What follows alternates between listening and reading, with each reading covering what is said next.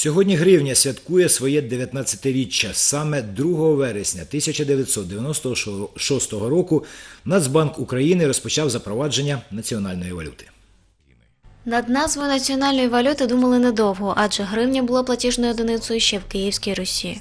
Її запустив в обіг сам Володимир Великий. За часів гетьманату Павла Скоропадського на початку ХХ століття гривня знов надовго стала платіжним засобом.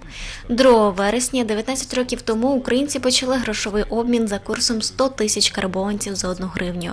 16 вересня цей процес закінчився, і гривня стала єдиним законним платіжним засобом в Україні. Через два роки були випущені банкноти нового покоління, які, окрім оригінального дизайну, отримали покращений захист. А в 2003-му усі номінали гривні стали більш контрастного кольору. Сьогодні наша іменинниця переживає не найкращі часи, тому що через різкий спад гривні ріст цін на комунальні послуги постійно підвищується. Та незважаючи на це, ми маємо пишатися гривнею. Вона є однією з важливих ознак незалежної України. Вікторія Кушніренко, телевізійні новини Миколаївщини.